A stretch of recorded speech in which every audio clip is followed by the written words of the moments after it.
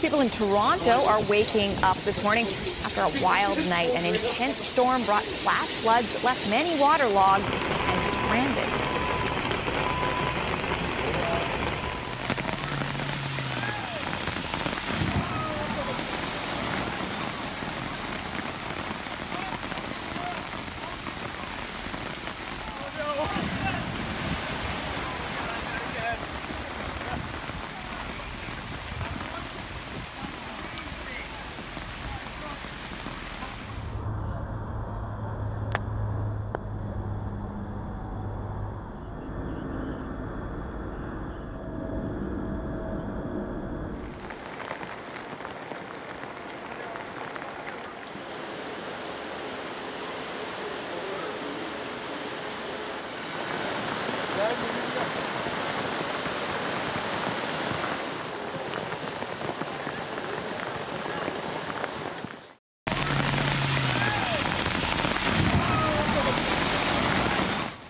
This was last night in a western downtown neighborhood of Toronto. Cars plunging full speed into floodwaters, only to find themselves getting stuck. Look at that.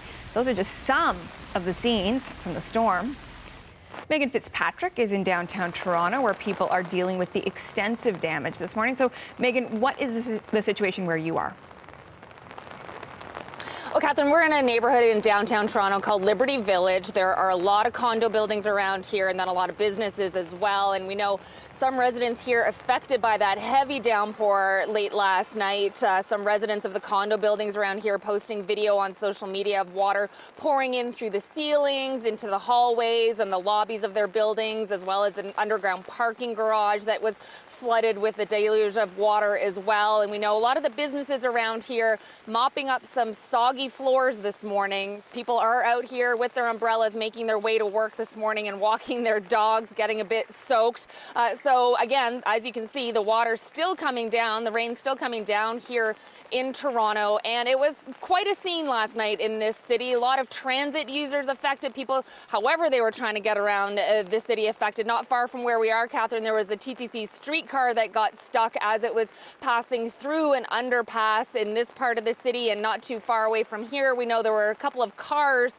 uh, that were also stranded, and the Toronto Police Marine Unit had to help those motorists get out of their cars. Um, but that wasn't the most dramatic rescue we heard about last night. There was also another story of two men who were trapped in an elevator of an apartment building in Toronto uh, that was down in the basement of that building, and they were submerged in about six feet of water. Toronto police saying uh, they were keeping their heads above water by standing on the railways within the elevator. And when police arrived, they were called and got there about 11 o'clock last night. Uh, the police were able to get down to the elevator elevator and pry the doors open with a crowbar. The two men in there only had about a foot left of space to keep their heads above the water and to breathe. So uh, they were able to get out safely. Obviously, great timing that the police got there so quickly and were able to get in there and help them out. One man suffering a bit of a hand injury, but nothing serious. Uh, no need uh, for hospitalization or anything like that. So quite a dramatic rescue we've heard about last night. Otherwise, a lot of people in this city affected in other ways. Uh, again, trying to make their way around this city. We know the train that goes from Union Station in downtown Toronto out to the airport, Toronto Pearson Airport, had to stop service last night. So some travelers in and out of Toronto likely affected by that last night. It has resumed service this morning. Things back to normal, both on on the UP Express as well as the TTC, but commuters are being warned to expect some delays, Catherine, and some people still de dealing with some power outages. There were more than 16,000 people in Toronto last night who had their power go out, and Toronto Hydro working to get that restored as quickly as possible. So uh, why did this all happen? Quite simply because a lot of rain came down very quickly last night. Environment Canada did put out a storm warning uh, saying people should expect up to 100 millimeters, and we know a lot of that did fall within about a two hour period. So obviously the streets flooded and other infrastructure just couldn't handle the heavy amount of rain.